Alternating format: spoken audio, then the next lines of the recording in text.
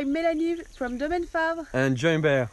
We are very happy to share with you this blue sky and sun and lots of work in the vineyard. The spring is here. Look these birds! For sure the vintage 2022 is on its way.